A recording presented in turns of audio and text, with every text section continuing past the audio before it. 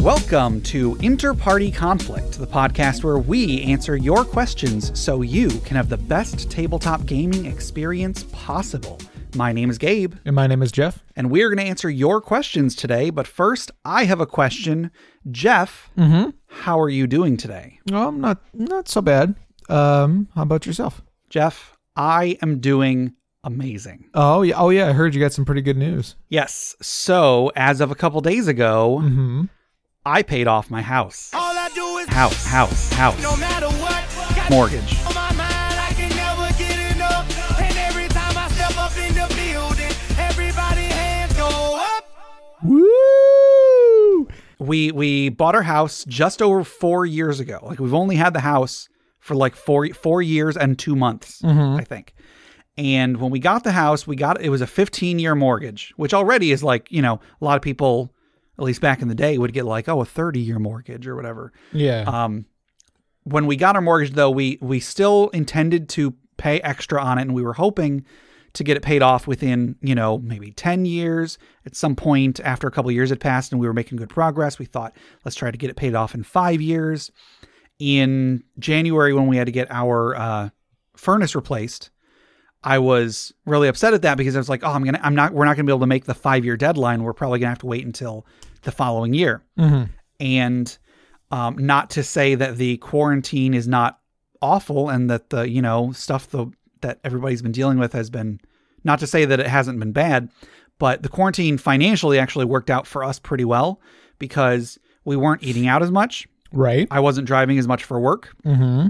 And I was actually making more money on unemployment than I would at my job, Right. That's which is real bonkers. it, it, it is. Yeah. Yeah. Yeah. Um, but anyway, the end result is we actually like be, we don't have to pay off our furnace yet. We have if as long as we pay it off by next January, there's no interest on it. So I realized like I could just pay off. I could, it, it we almost a few like a month ago we almost had enough money to just completely pay off the house. And so I just I kept an eye on it. I kept an eye on it. I called the bank to find out exactly what the process would be. Found out what it was, and uh, two days ago, as of this recording, we sent in our final check, Woohoo! and the house is ours. Wow! Congratulations. Thank you, thank you very much. Like it's, it blows my mind. Like that's that's awesome. Mm-hmm. Absolutely. That's really I'm, good. I'm so excited about this. I was, that day I had to drive to work, and I was I was driving to work, and I was at uh, I was getting myself some some fast food on the way, and I thought to myself, you know, I deserve a milkshake. Darn it! So I got myself a milkshake. You know, I say that. I say that to myself all the time. Yeah. I deserve a milkshake. Darn it. yeah so i'm i'm very excited about that um i would say thank you to our patrons i guess thank you to our patrons but patrons rest assured that the patreon has not meaningfully impacted uh Right. Yeah. No, my, he's my house by i have not yet paid myself for anything right. Yeah. I've, I've paid back stuff that i've bought for the podcast and that's it yeah. but still thank thank everybody thank listeners thank you patrons thank you everybody for the moral support that Right. you have provided simply by being there i really appreciate it Yeah, yeah. Like, you know, you've been able to do a thing that you like doing and while also being able to pay off your house. I don't know. I, I it, you know, yes, they're not exactly connected, but it's, Sure. you know, you having a, having a good hobby makes you feel good, which helps you get through the rest of your life. And the rest of your life is what part of the rest of your life is paying off your house. So, yeah so, yeah, so thanks everybody. yes thank you thank you all so much um, just for being there i'm i'm so excited it's awesome Mm-hmm. um anyway so you want to go ahead and get into this episode Sure.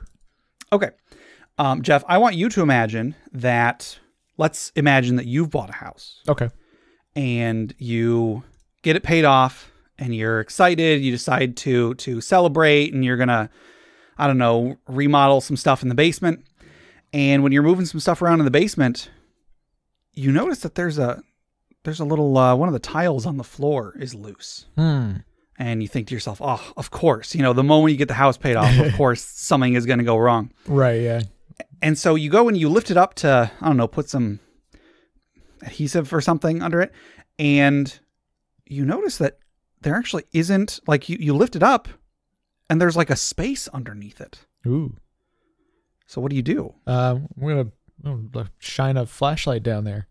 Okay. Um, there actually look like there are handholds leading down, Oh. and it goes on further than you can see with your flashlight. Oh, all right. Well, uh, yeah, I'll just go on down there. Okay. So you you head on down there, and do you still have your flashlight on, or did you turn it off? Uh, yeah, I'll have it on.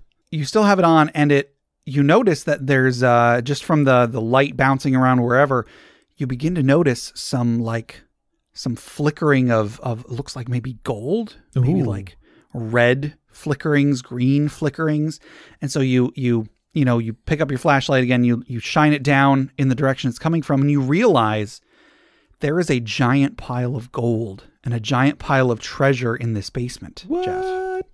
And as you notice, the large decayed skeleton of a, a scaled beast lying atop the pile of gold, mm. you realize why you got this house so cheap. and that's because it was buried, or it was that's because it was built on an ancient dragon burial ground. Oh, okay. However, where there's an ancient dragon burial ground, you know what else there is, Jeff? Where, wh- what is it? There is a dragon's hoard.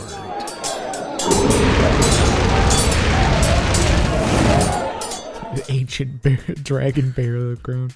I feel like that would actually raise the price of the of the house if Right. like, oh yeah, there there might be treasure underneath this house. Well, you know, may, maybe they maybe they think it's cursed or something, or maybe it is Yeah, still maybe. cursed. Maybe if I if I grab that treasure, then then I'll be like a skeleton in moon in, in the in the in the moonlight or whatever. Sure. Anyway, so today's Dragon's Hoard item was submitted by Potato Plunderer via Discord. And this item is the Tome of Treasures. Hmm. It's a uh, fairly simple item, but uh, I, I thought, you know, it kind of fits the kind of fits the theme so far. Sure. This is a very rare wondrous item. It is an ancient book containing rites that will bring the reader wealth and fortune. If you spend 48 hours over a period of six days or fewer studying the book's contents and practicing its guidelines, you are given a map which only you can see to a location where a powerful adversary of the DM's choice is guarding a hoard of riches worth up to 1d8 plus 2 times 1000 gold, so hmm. between 3000 and 10000, and three magical items from the magic item table on page 147. Sorry, magic item table G on page 147 of the Dungeon Master's the Dungeon Master's Guide. Whether these riches are created by magical means or are taken from somewhere else in the world is up to the DM's discretion. And that's it. You know, it's like I said, it's fairly simple. It's you read this book, you do what it tells you, and then after 48 hours of studying this book, you see or you make or you procure a map that leads to a monster and treasure. Okay. The monster may be an orc, the treasure may be a pie. Who knows? treasure made But- pie. Yeah, but I like, I really like the last sentence. Whether these riches are created by magical means or are taken from somewhere else in the world is up to the DM's discretion. So hmm. it might be, like when I first read this, I was thinking like, oh yeah, just you figure out where a buried treasure is.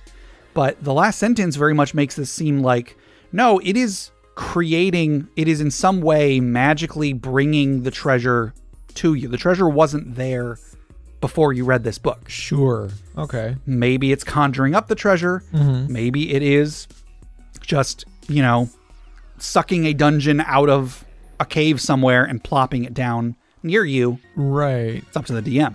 Huh. Kind of makes me think of the, the the what was it the bag of magic beans or whatever where you create a uh, where you might accidentally create a um a mummy lord's uh, lair. Yes. Yeah. Um, Among many other things. Right. And this could be sort of like that where it like it like it yeah, it, it kind of it kind of brings up some sort of like the, like the the adversary could be a really nasty monster that would have you know it would have been perfectly fine left alone but now that you've conjured it with this item is you know is wreaking havoc somewhere and that's where the treasure is coming from because that that thing is going around stealing it or Yeah. Or it could be that the treasure is like just sort of it it is bits and pieces from all over the world or whatever and it's just kind of like well i need this treasure for this magic thing going on so it just kind of like i don't know like teleports or however you know just random treasure so you like you have this pile of treasure Yeah. and you're like selling it and using it to trade for things, and then suddenly somebody recognizes it. It's like, wait a minute, that's like that's my great aunt's like amulet or whatever. Yeah, that I was like, no, be. it was That's in a. good. He was like, eh, no, it was in a. It was in a dungeon somewhere. It's like, wh- where? It's like my my my aunt never went over there. She her. It was locked in a. It was locked in her safety deposit box or something. I don't know. We even put a golem in front of it to keep it safe, and the golem's gone too. yeah, right. oh, you mean this golem? You hold up its head or something. right. Uh, Um, yeah, I, I think that like there's there's a couple ways that this could be a really neat adventure hook.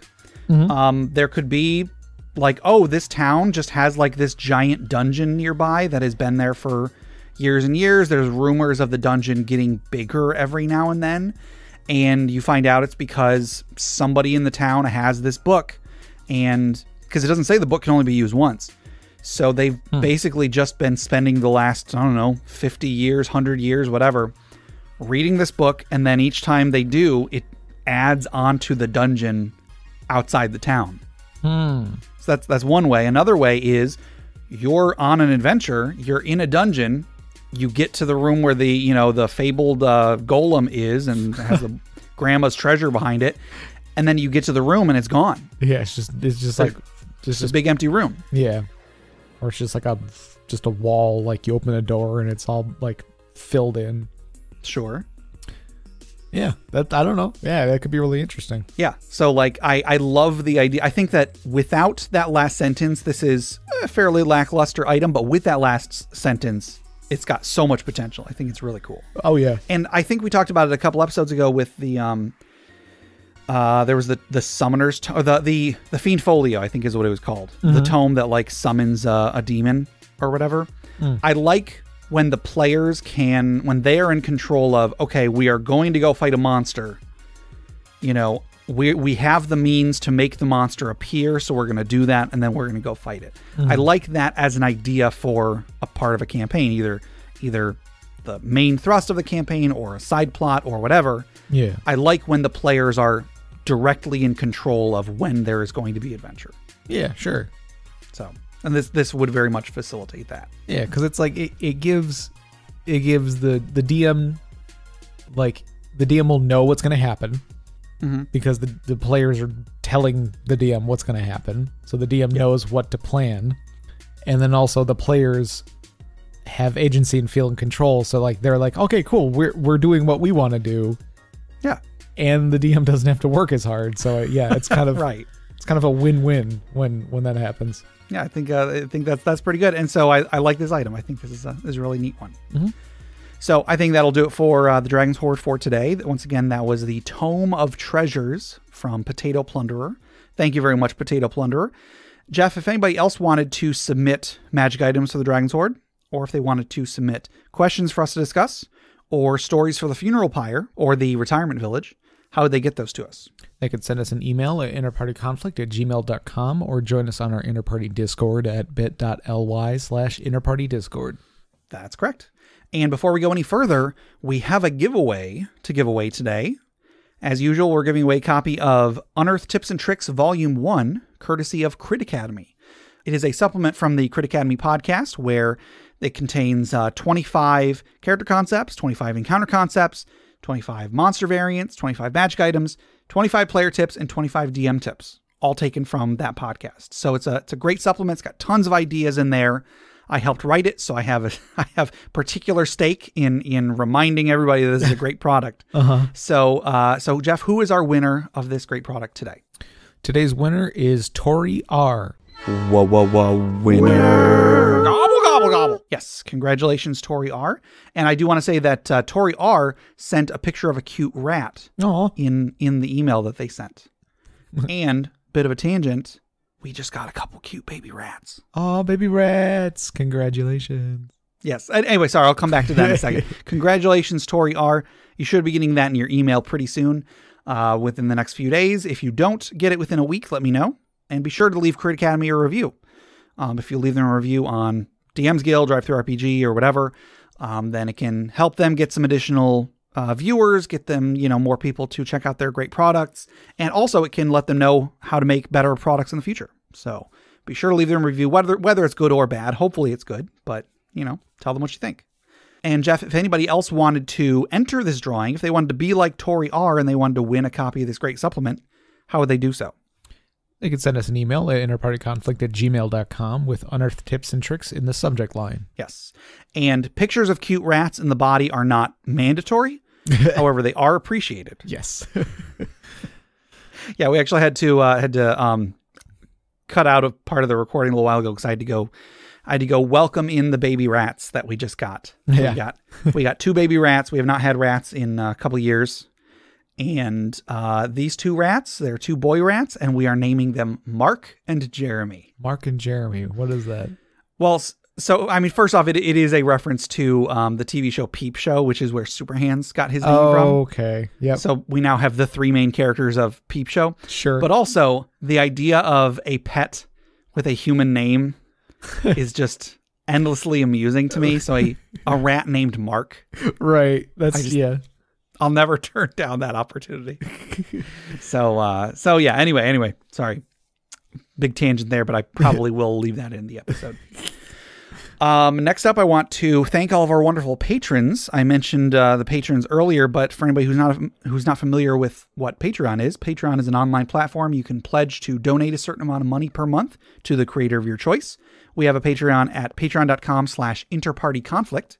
On there, we've got a few different reward tiers. So if you want to donate a, even as little as a dollar a month, you get outtakes. You get access to our, um, we've got fantasy fiction up there. I've been turning some of those fantasy fictions into audio format so you can listen to them as well. Um, on the next tier up at $5, we've got a monthly bonus podcast, which uh, we've been meaning to record for a while. Hopefully, by the time this one goes out, we will have one of those for uh, for June. Yeah. No promises though. Uh, and then uh, up on the top tier, we've got a roll twenty game every month. And uh, the day after we record this, we're going to be playing our roll twenty game for this month. So by the time this goes out, it will have already passed. But hopefully, you know, if that interests you, you can join us for for next time. So if you want to help out the show and get some cool stuff in return, go to patreon.com slash interpartyconflict.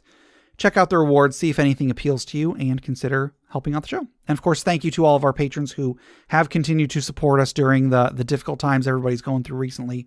We know that you know your your money is more valuable than than uh, it may have been in the past. So we really appreciate that you are continuing to support us. Yes. Thank you. All right, and then one more thing: check out the other podcasts on the Crit Nation Fellowship. Check out Crit Academy. I mentioned them for uh, the Unearthed Tips and Tricks supplement. They are a great podcast where Justin, Ian, and Brandon create new and reusable content for players and DMs alike. Also, check out Brute Force and Ignorance. They are an actual play podcast on the network. And also check out D&D Character Lab. They're not making episodes anymore, but they uh, made characters every week and pitted them against each other to debate whose characters were better. Uh, enough with all that. Let's get into some questions, Jeff. All right. Our first question comes from Bekanshma. I think that's I think that's what that is Sure. on Reddit, and they ask, "Why do we still have both ability scores and ability bonuses?" Yeah. Um. So I I'll just get this right out there. I don't know. We can try and figure out a reason.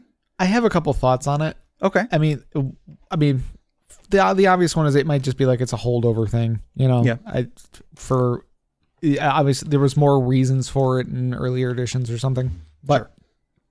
I know like in fifth edition they still use strength to calculate, uh, like I think carry weight and all that. Yeah. I mean, that's already that's always been a thing with strength is like they they calculate how much you can carry, how much you can push and lift and all that, and that's all calculated off of the ability score. I, I'm pretty sure that's still the case.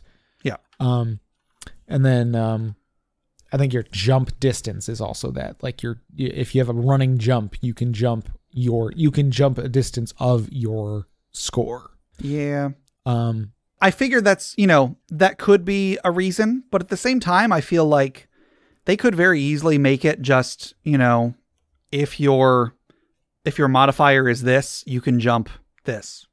And so on and so on. Like I, yeah, if your modifier is, you know, plus three, then you can jump. You, know, you can jump five times. You know, you can jump a square for every for every. I don't know. Uh, yeah, like I I my personal belief is that it's just a holdover from earlier editions. mhm. Maybe, you know, in first edition, maybe they were cribbing it from some other mechanic in some war game at the time. I don't know. But if there was a, you know, if they needed to get across, oh, you you need to know your your carrying capacity. They could make a specific chart just for that, and having to learn one chart would probably be a lot easier than having every one of the six stats have a completely redundant number. You know what I There, mean? there is another reason Okay. that I think that it might be, and it's more just like it's just more uh, staggering progression. Okay. So like it's you don't get like when you go up a point in strength, you don't go up a point in your strength bonus. It's Yeah. every two. So I I feel like it might just be some form of balancing or a way to kind of like slow down the progression so that it's that you're not like so that the numbers aren't getting so high so fast. Yeah. I feel like in in you know in older edition or in like in third edition or maybe even in fourth edition where you're getting like you know ability bonuses way more often than Yeah. in fifth edition. I feel like it's it makes less sense there than it does in fifth edition. Like it, may, I feel I feel like it might make more sense that we have both ability score and bonuses in fifth edition than we do in the older editions Sure. because be, because it's sort of staggering those numbers a little bit so you're not because you're only dealing with up to a plus 3 weapon like the numbers are so much smaller in 5th edition it's better to keep you know um it- it's better to keep it so that like you you have to you have to choose okay do I point do I put both of my points into strength and get another bonus or do I put one bonus uh, one point into strength and then one point into dex so I can get a bonus in dex and then next time I up my ability score I can get the strength again you know it's it's it's it's making you think a little bit more about where you're putting your points I guess Yeah, don't- I, I'm. I guess that that is potentially an explanation, but again, like I feel like that that might just be a side effect rather than a reason. Because how often in fifth edition do you get a plus one to a stat? right I mean, like every four levels or whatever, you can you can put a plus one in two different stats, but you're still getting two points. I feel like no one would really necessarily bat an eye if it was every four levels you just increase your one of your modifiers by one. mm-hmm. You know what I mean? Like you can choose to split it in half, but I feel like most people are only going to do that because they already have an odd score. right So I don't know. like you know it, it could be it's like you have two odd scores that way you can up the bonuses of two abilities Yeah. in one in one go i I don't, don't know. It's it's kind of like a chicken and egg scenario. Like yeah did it start with one or did it start with the other? I'm not really sure. I personally, my assumption is that it's a holdover, and there are probably enough people who they probably, I'll say, they probably play tested getting rid of them at some point, and enough play testers were like, eh, it just doesn't feel like D and D to me. right yeah that's that is a big thing like Yeah. it's like if it if it doesn't feel if it's not the same it doesn't feel the same uh that kind of reminds me of the thing with i think it was was it macy's i don't know it was some some big department store or something that used to like have sales all the time Mm-hmm. For their uh, for their for their products and people would go and like clip coupons or whatever and go in for the sales. Right. and then they were like you know what we're gonna do? We're instead of just doing sales we're just gonna lower all of our prices to the sale prices so that you're like you're like instead of like people waiting for the sale for this one item we're just gonna have everything be at sale prices all the time and that's just our normal prices now. And people are like no we don't what? No i'm not gonna shop there. It's not on sale anymore. Yeah. they lost money because people weren't going in because they weren't excited about a sale. Yeah. You know, it's like people want that strength of 20. I don't want Sure. plus 5 strength. My my strength oh it's 5. You know, maybe it could just be a bigger number is just more fun. You know, Yeah. uh we um Gabe and I had a uh had a teacher uh, yep. had a teacher that uh, would basically like he would he would grade us in like thousands of points. You know, Right. like he would he, he would you would add several zeros onto a score for for an assignment or something, just for the heck of it. And it was especially jarring because I had another teacher at the time who you would get like you would have an extra credit assignment and it's like, "Oh, that whole assignment was worth 2 points." Right. And so, yeah, d- two different approaches. And that, yeah, I, I think I've heard that referred to as like pinball numbers or like the mm-hmm. pinball approach because in pinball, you know, you hit the ball once and you get a thousand points, and then you hit a thing and you get like 10, 10 million points or whatever. Yeah. It's like what's the what's the three zeros for? You know, like Yeah. they're they're not they're they're unnecessary. Right. But Th- but there is are. definitely a a psychological you know advance like there is a, a- a- that dopamine hit you get from seeing bigger numbers Mm-hmm. and you know when i say that i think it's just a holdover from earlier editions i mean i'm i'm i don't necessarily mean that as a a, a bad thing or something that Right. has no advantage to it um i just think that yeah people probably liked it in earlier editions and now they still want that same level of of of dopamine or whatever from seeing those big numbers yeah. so i don't know Yeah, I think I think you're right that it's just like it, it like changing it would be too much of a change and people would be like that's not D&D anymore or they like they ruined it or something, you know, fine. And I feel like having those two numbers does give you more might give them more options to do different things with um like class abilities and stuff. So if they like Okay. come out with uh future archetypes for classes, you know, they might like if they want to make something that's a little bit more unique they could be like, oh, it goes off of your score instead of your ability, you know, instead of your modifier or something, you know. Like I feel there's a- a f- it gives them a few more tools to to work with, you know, more more numbers that you can use when you're creating new spells or abilities or something. yeah So I don't know. I don't know. Uh, I I don't know why we still have both, but mm, I, I think that if they wanted to get rid of ability scores and just have ability modifiers they very much could yeah, but i imagine there are a lot of people that would say it doesn't feel like d&d yeah. You know.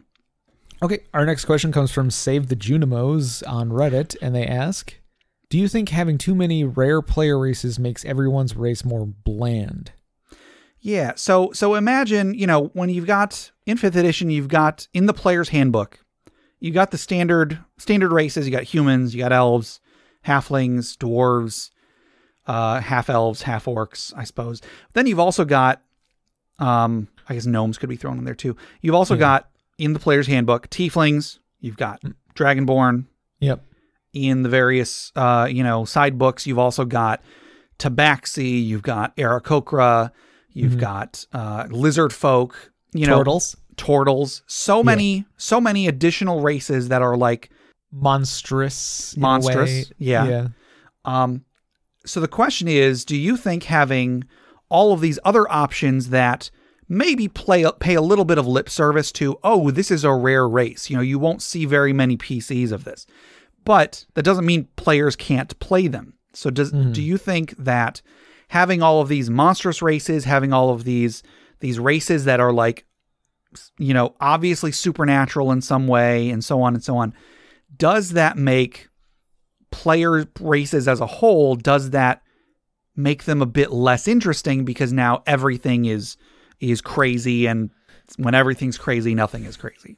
I feel like it can, it, it, it can do that. Yeah. It. Yeah. it doesn't have to like it, it that doesn't have to be the case in every campaign or in every adventure but Sure. it can definitely that can definitely happen um i mean you, you've you've said before that you're not super duper fond of dragonborn Yeah.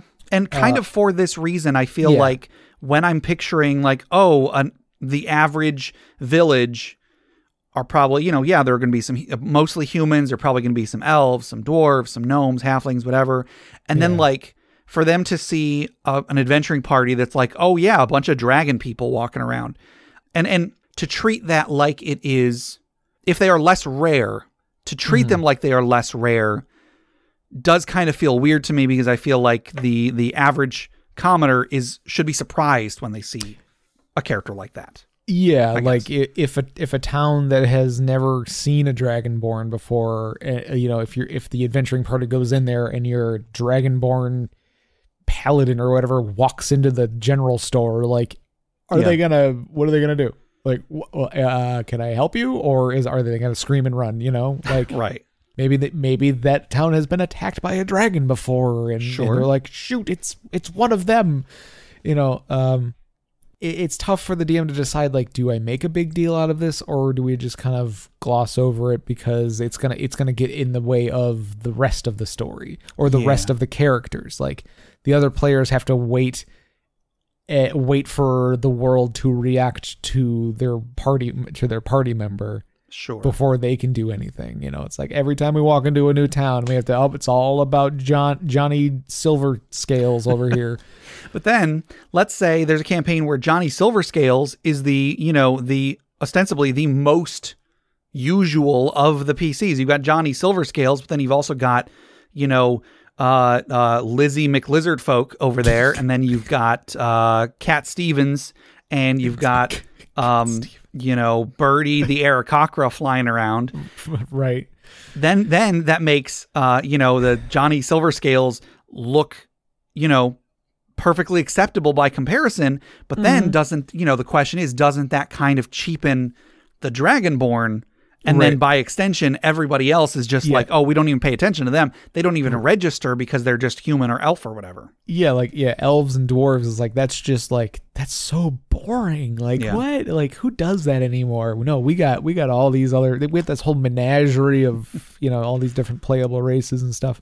yeah Yeah, I, when when I think about running something, I'm always like I'm always like I want people to be able to do whatever they want, like to play whatever they want. Obviously, mm-hmm. I want them to Sure. like if they have if they're excited about like I'm ex- I like I get excited about playing a Warforged or a Turtle or something because I think they're cool and then like so I get excited about playing them. But like so if I ever ran something, I wouldn't want to turn somebody down from playing something they're excited about playing. But it- like it, at at that point you really would just have to make it like well in this world there's everything everywhere everybody knows what everything is and no one gets excited you know like Yeah. and, and then at that point then it's it's not fun. Sure. You know like because part of the fun of at least at least for some people part of the fun of playing those weird races is being the like the odd man out. Like they Yeah. want to be they want to people want like some you know people are gonna want that attention you know that's that's fun to them. Mhm. so it's yeah it's a hard thing to juggle um because like you could like limit the races that people use. You can you know you can very easily say oh okay just only player's handbook. Easy enough you know? Yeah. and it's like and that's and that's acceptable you know like as as a as a player i can accept that and be like all right fair enough. Like you know there's there's so many like there's so many ways to yeah, to unbalance the game by mixing and matching things from other books even if it's all by wizards. They're you know sure. it's you know it's different it can be different writers and they can have different things on their mind. Um, I guess I, I didn't really, I was sort of arguing the devil's advocate kind of just a minute ago when I was talking about this. Like, I do think, to answer the question, I do think that yes, it kind of does, but I don't think it's the problem that it, it, it doesn't have to be a problem. right Um, like you were saying, Jeff, I wouldn't ever want to discourage someone from playing the race that they want to play. Um, when I do, if I ever do say like to my players, "Hey, I don't really like Dragonborn," I will only say that so to say, don't expect very many other Dragonborn. You can be a Dragonborn if you want, just don't expect there to be a ton of other Dragonborn in the the game world because I do kind of want the game world to treat Dragonborn as if they are fairly rare.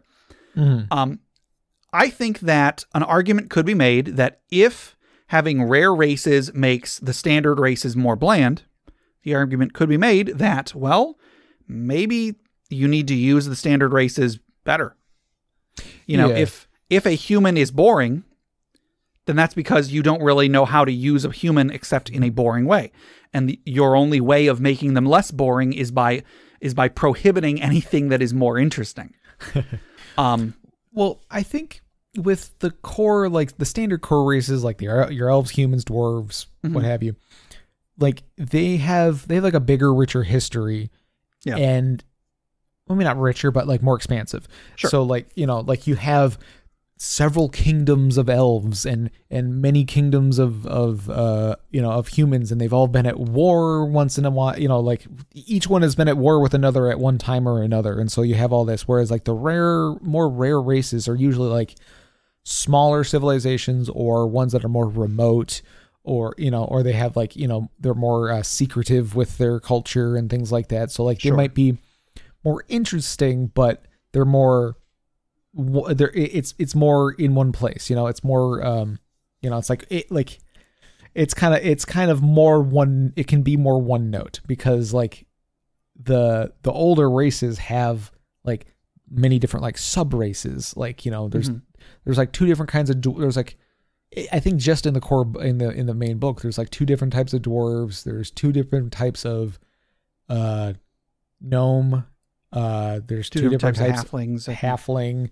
Yeah. Um, I think there's like three different types of elf. I don't. I can't remember. I think so. There's like forest elves, moon elves, and drow. I think. Yeah. So like you got you you know there is there is a lot of variety. There's more variety in them.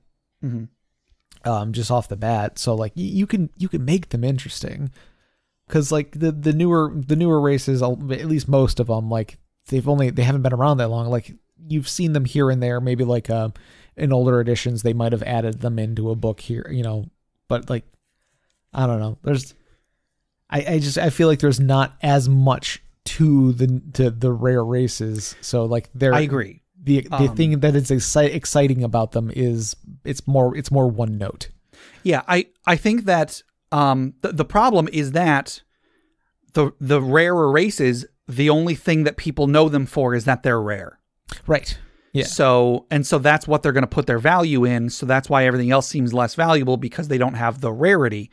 But what you should be doing is you should be focusing on how to make those newer races, those rarer races, more interesting intrinsically, so that it's not necessarily about how rare they are. It's about oh, their society is like this, so that character is going to play their character like this. Now, um, I've I've said many times, we just talked about it a minute ago, that I'm not a huge fan of Dragonborn. One would think that I dislike tieflings for the same reason, but I actually love tieflings because I personally have have reworked their history to to be something that I really really like. I imagine I could do the same thing with Dragonborn. I just haven't yet. Right. Yeah. Yeah. Making them fit into your world, in you know, in a more organic way, Mhm. would would we it, it, it would help them blend in more with the with the with the you know the core races. Absolutely. So yeah, like it's yeah, it's definitely a problem, but it, it I don't I don't think it can be I don't think it's unsolvable. Yeah, I, I think it's it looks like a problem to an inexperienced DM, and I mean it is it is a problem to an unex- inexperienced DM. However, um, it's a it's a problem that can be fixed if you are willing to fix it. Mhm. You know, just familiarize yourself with the race and try to integrate them more into the world, so that to the players it's not oh my entire character is that I'm a weird race. Right. You know, Yeah. Yeah. You don't. Yeah. You don't want. You don't want to. You don't want it to turn into that because. Sure. I don't know. Like if, the- if your if your character concept begins and ends with I'm a lizard folk, that's a problem. That's a problem whether whether lizard folk are rare or not. You know. Uh, our next question comes from N0753W. Oh wait, oh, you know, I thought that was I thought that was someone I know, but no, I was thinking of N0752W. Oh yeah. Sorry. Or Natsu, maybe if if we're doing Leet.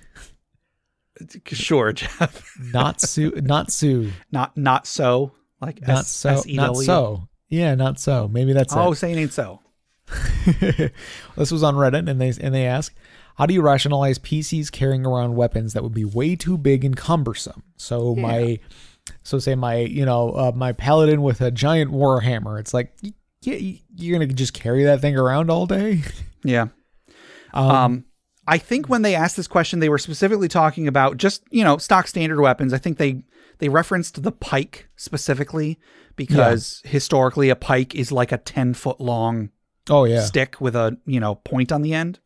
right. Um, but I, I also imagine this should apply to you know your your clouds strife and such that have a Yeah. weapon that is as big as they you know just like a big giant slab of iron that's hanging around on their back. Right. Yeah. I mean, like, yeah, in a lot of times, it's mostly just going to be people flavoring it that way. But I mean, Yeah. still, like, if you're, you know, if you're trying to be somewhat realistic, which you know, we always caution, we always caution that. Yeah. You know, don't don't try to go too realistic. It's a game. Um, I mean, because you're you're you're thinking about the fantasy is based off of like medieval sort of fantasy stuff hmm where you got knights with big shields and armor, you know, big heavy armor and like, like a giant bastard sword or something like that. And like, you know, they don't just walk around with that. They have like squires and like, you know, they Okay. don't go, they don't, they don't walk into war. They don't like walk out their house fully dressed for war and go and just, you know, go down to the field and start fighting. But what if they know- did? right? they go to war, you know, like they march single file with a caravan and carts and stuff, all like, you know, carrying all of their gear with them, you know, it's like, Yeah. or it's all packed on like pack mules or things like that. And like, while that might be fun to some to figure that stuff out in a D&D campaign, it's like, oh yeah, we all have pack mules or we'll- have a squire or something that'll carry all of our stuff. Or, Mhm. I mean, obviously there's the, you know, bag of holding Sure. thing. It's like, yeah, that you know that works. But I think this is more specific to like, yeah, like a like a pike is this giant, you know, stick. Yeah. Like you're not gonna just walk into like, yep, I I, I my my weapon on my character sheet is a pike. It is a is a plus two to attack and damage or whatever. Mm-hmm. And I'm gonna go walk into the shop right now. like it's like eh, eh, you- I don't think you're gonna fit that through the door, sir. You know, Yeah. Uh, it, it, it- so like you kind of have to wa- you gotta waive it i guess in, in most cases Yeah, th- there's a couple different approaches for this. Um, mm-hmm. Number one, I think most players, most players, most groups, most DMs are just going to just hand wave it and just not even think about it. Like, Right. sure, in combat you have a pike. However, we're not going to worry about the the logistics of getting a ten foot weapon through this. Whatever. It's just don't worry about it. Just play the game. Just have fun. When you get into combat, you've just got your weapon out. However, that works. right I would say most groups are going to do that. Another way to look at this is your characters have ostensibly, hopefully, been using these weapons for a very long time. They're proficient. They've, you know, depending on their backstory, they've been probably been an adventurer for some time. They probably spent years training to use that weapon or other weapons or whatever. Mm-hmm. So you can rationalize it as my character has been carrying around this giant sword for, you know, five or six years. He's gotten used to the, just the subtle movements necessary. Yes, he he leans down a little bit whenever he goes through a door because Yeah. the first year and a half he kept bumping the, his sword into the door frame every time he went home. so you can rationalize it as no, no, we don't need to worry about that because my character has already gone through that. It's not interesting to the game. We can just assume he's figured it out. Uh, a, a third approach is you could make this part of the game. You could maybe have the players make checks at certain points, you know, when when there is like if they have to squeeze through a narrow part of a cave or something, have them explain how they are taking off their sword and how they're, you know, dragging it behind them or whatever. You can do that. The problem a lot of the reason a lot of people don't is because that is probably not interesting or fun. Yeah If you think it will be, go ahead and do it. But do, if it ends up not being fun, don't do it just for the sake of realism. Because again, Yeah. you can just assume that they've figured out the best way to transport their gear when they've been doing this for years. And I feel, I feel like if you add more ways to like take away the thing that a character does Yeah. It's like if if i made this character because i wanted him to be this cool guy that uses a pike like i thought that was i just really like that mental image and i think it's cool and i want to do that. And like and then and then you start throwing things at me like oh okay well you're gonna go through this narrow thing. What are you gonna do with your pike? You gotta leave it behind? You gonna what are you gonna do with it? And i was like well I don't know. What am I gonna do? Like, you know, I guess, I guess I'll just have a spare weapon all the time now that Yeah. I hate. You know, I hate using this this short sword that I have to carry with me because, you know, because we walk through through so many narrow pathways. Sure. You know, like I, it just I feel like they're like you know you don't need you know just don't worry about that because then it yeah it's just overcomplicates things makes it boring and it might create resentment from your players because you're just Sure. giving them more obstacles. Yeah, try not to make your players regret their decisions when making characters mm-hmm. unless you are spending, I would say, at least twice as much time making them proud of their choices. Sure, yeah. It's fine Yeah. to, like, once in a while be like, well, you shouldn't have chosen to use a two handed weapon when you're now in a situation where a one handed weapon and a shield would have been better. Once in a while, that's fine. It's fine to make them realize the sacrifices they have made. However, if it gets to the point where they're like, well, now I, I guess I just can't use my preferred weapon anymore because it's become an issue so many times, that's when it's become a problem. Yeah. So, like I was saying, like, you know, do it if you think it's going to make the game more fun, but watch out because it might it might be the exact opposite. It might just make people really frustrated with how you're running the game. Mm-hmm. Because, like, it's a fantasy. If you want to play a character that wields a weapon that's 12 feet long or whatever, fine. If if if that if that makes the game more fun for you, cool. I don't want to stop you, and I don't think other DMs should necessarily try to stop you. However, make it meaningful. You know, have there be times where it's a disadvantage, have there be times where it's an advantage. Right. All right, I think that'll do it for our regular questions for today, but we do still have our social media questions. Our last social media question was What is your favorite deity, oath, or patron? Uh, do you recall what your answer was, Jeff? Mm, I can't remember if I said what I said. If I said anything. I probably said I would try to come up with a better answer, and I didn't. I think I might have said Tharizdun. I like I like the idea of Tharizdun um, as a great old one patron. Mm-hmm. Um, for anybody not familiar with Tharizdun, Tharizdun is the is a god who was so evil, so powerful, and so crazy that all of the other gods banded together to imprison him. Right. And so he works as a patron because he's not really able to exert much force on the world. He, he isn't he can't act as a standard deity, but he is able to like get messages out to those who are like equally as crazy as him or something like that. So the idea with the great old one patron is that he is this he is this like eldritch abomination out there that is, you know, if you were to understand too much of him, you would go insane. And so he's Right. able to give like little bits of his otherworldly power to pay to to warlocks to, you know, do whatever they want with them. Mm. Um, I've talked a couple times about the uh, Return to the Temple of Elemental Evil. If I am not mistaken, it's been a long time. There might have been other parts to this, but I believe Tharizdun is is like the big bad behind all of the stuff going on in that. I Hmm. think. Okay. I always think back to the like stat block for Thor in uh Deities and Demigods. Sure, that's a pretty good one.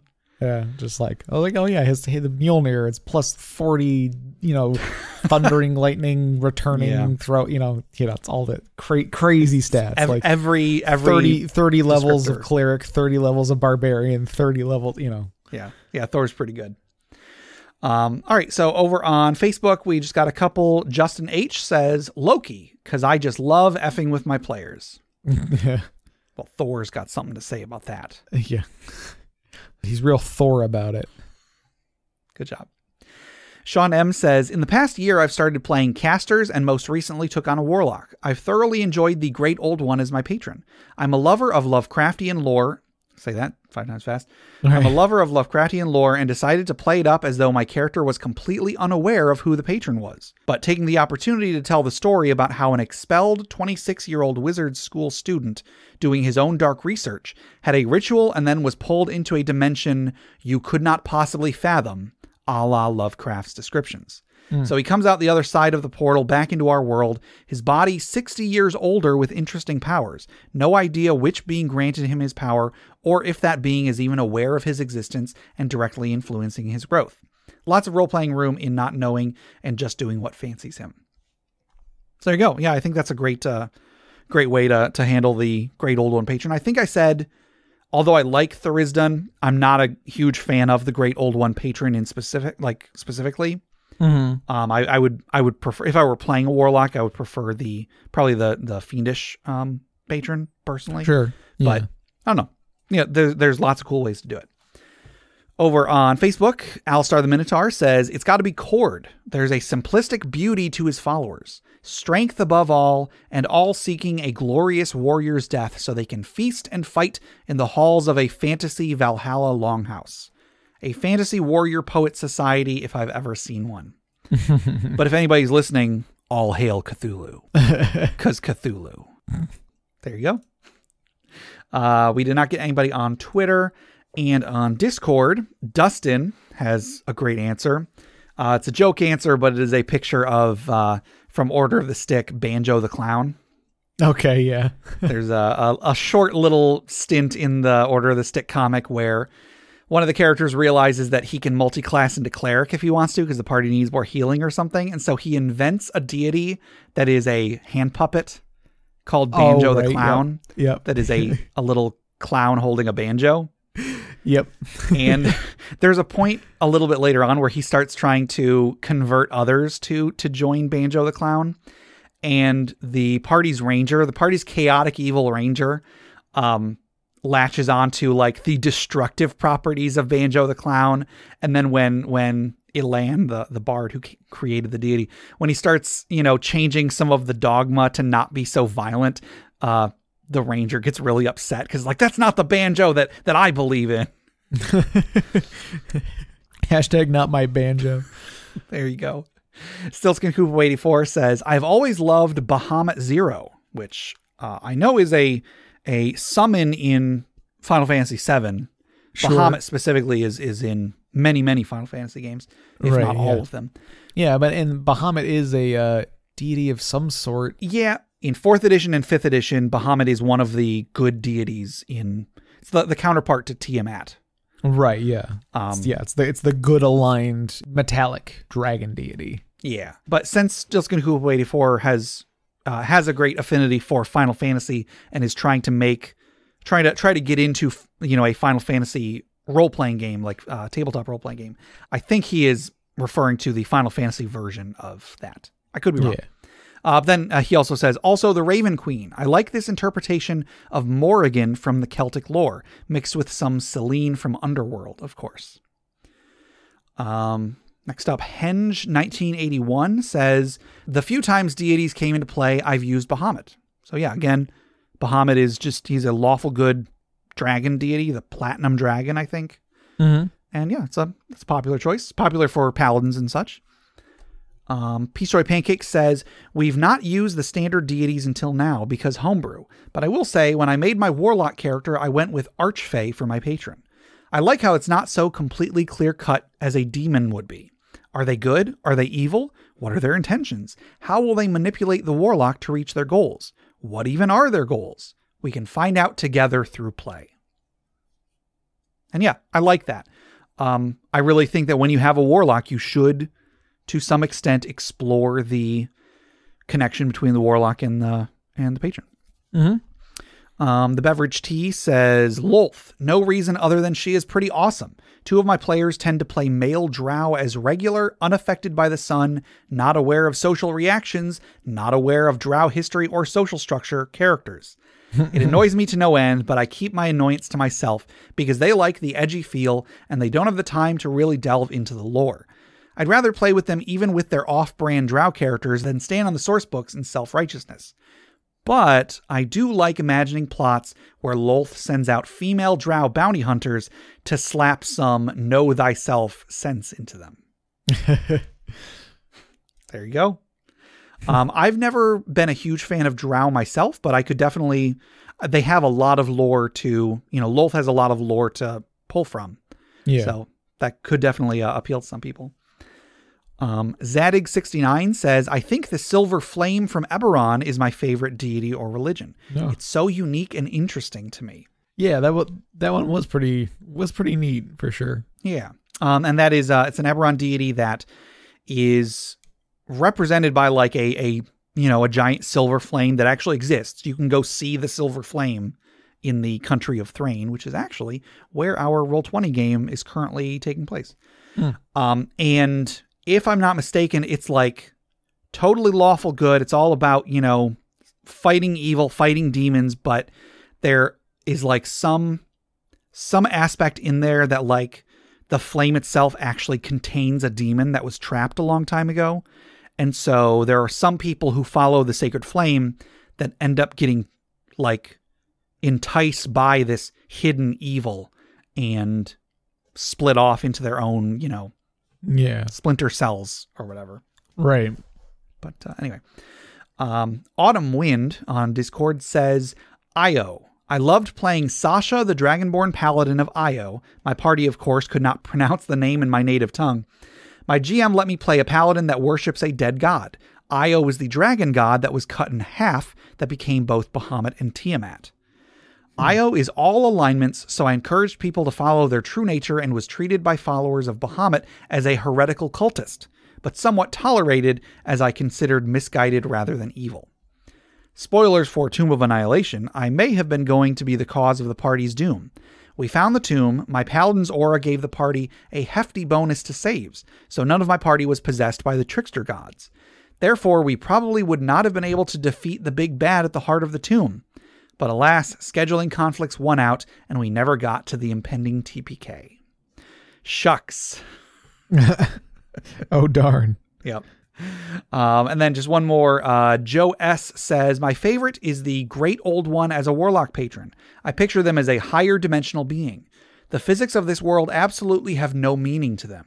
They don't consider life to be real and have no issue snuffing it out any more than we would consider turning off a light to be amoral. They are extremely aloof and view their warlocks as an entertaining distraction, much like we view our characters when playing Skyrim. Our reality isn't a true reality to them. I kind of like that idea, thinking of great old ones. Actually, okay, let me finish my thought and then I have an idea. I like the idea of, of thinking of great old ones as being so disconnected from the world that like nothing is of any actual consequence to them. They might as well just be playing a video game. And that brings me to my idea what if a great old one patron was actually the player playing the game? right. You are your own patron. You are your own patron, exactly. uh, that's that's a bit meta, but I think I think Sure. something could be done with that. Right, right. Yeah. Uh, all right, so that was uh, that was our last social media question. Our next social media question is this is a a bit of a grab bag question. There's a lot of potential answers to this. What is your favorite aspect of tabletop gaming? Uh So very very broad question. I just kind of figured let's take it easy this time. it's the table. The table. Good job, got, Jeff. it's got legs. It's got a surface. Might be made of wood. Who knows? um, I mean, it's. I mean, it's always fun to be hanging out with friends and stuff like that. I like. Yeah. Tabletop gaming allows for, like, it, it, it, allows for a good range of like you can get serious about it or you can just be casual about it. Because like yeah you can just be like "Well, let's there's a pizza on the table and several drinks and everyone's just kind of ha- hanging around and having a good time. And then like oh oh yeah let's let's fight this demon or whatever. And then you do that and then you make crack some jokes and you know uh, you know do some role playing in there and there. Or or you know you could have like a whole you know uh uh, you know, setup of terrain and be like super serious about like the tactics of everything and like I don't know. I, I feel like it- like anybody can find something to like about it. Okay. Yeah, I think that's a great answer. Um, I would probably say my answer would be um, the the flexibility. When you're playing a, a video game or a computer game, you can only do the things that the computer has programmed. Sure. In D and D, anything you can think of. I mean, of course, it has to go through the dungeon master, but because there's a dungeon master and not a computer, if you come up with something that the dungeon master didn't plan for, assuming they don't just tell you no, it doesn't work, do what I had planned, you can do anything. If you come up with an idea that is very unorthodox but could work, right. you can try it.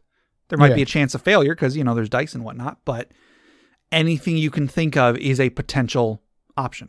I love that. Ever since I first started playing the game, that has always interested me. hmm Uh, yeah, so I'm I'm interested in seeing what uh, what some of our listeners have to say about that one. Again, it's a pretty broad question, so I I expect a wide range of answers. Yeah. All right, uh, so that'll do it for our questions for today. But before we before we close out, let's let's relax. Let's take a deep breath. Let's remember those who have come before us, who have made the world a better place at the expense of their own lives, as we toss another log onto the funeral pyre.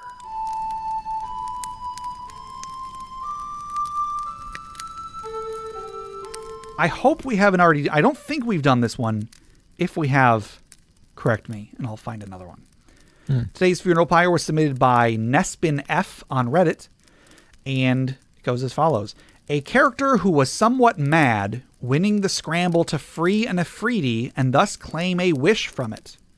He wished to be a dragon, and became a dragon. Egg. Oops. Did hatch eventually, but by then he was an NPC. okay.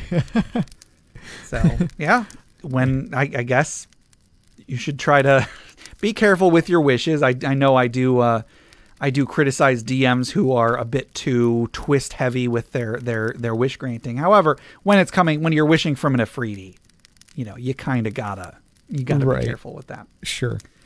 So so yeah, um, so I guess let's raise a glass in memory of the uh, the this unnamed character who answers the question of which came first, the dragon or the egg. Clink. All right, that'll do it for today. To submit questions for us to discuss, items for the Dragon's Hoard, or stories for the funeral pyre, please email us at interpartyconflict at gmail.com. For show notes, links to media mentioned on the show, and running lists of questions and magic items, go to interpartyconflict.com.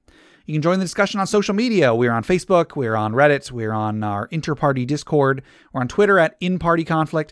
We've got weekly social media questions, so if you answer them, your answers might end up on the show. Find us on the podcatcher of your choice iTunes, Google Play Music, Stitcher, YouTube, Spotify, iHeartRadio, anywhere you download podcasts. Please leave us a rating, a review, subscribe, or just tell a friend. If you'd like to support the show, check out the rewards at patreon.com slash interpartyconflict. We have a few different tiers, so anything you can spare, even a dollar a month, would go towards making the show better, and you'll get bonus content for it. Jeff, tell us about Friend Quest. Frig Quest is a YouTube channel where you can uh, watch videos of us playing video games. Yes. Speaking of video games, check out my side project, the Arcade Memories Podcast. If you'd like to submit your own childhood memories of going to the arcade, you can send them to me at arcadememoriespodcast at gmail.com. Also, head over to bit.ly slash interpartyconflict to take a short survey about our show. What you like, what you don't like, etc. And just for taking it, you'll get two free printable board games courtesy of Mary and Tom over at hollandspiel.com. And our music is made by Boxcat Games from Nameless the Hackers RPG. So, Jeff, until next time, Don't let the door hit you where the giant sword splits you.